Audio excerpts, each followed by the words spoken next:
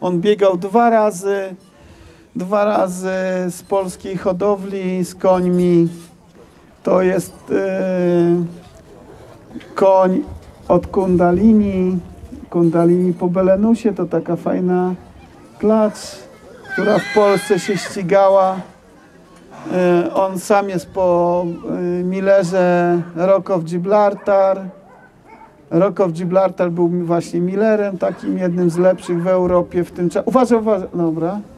Dobra, tam, nie, tam kręć się przy drzwiach.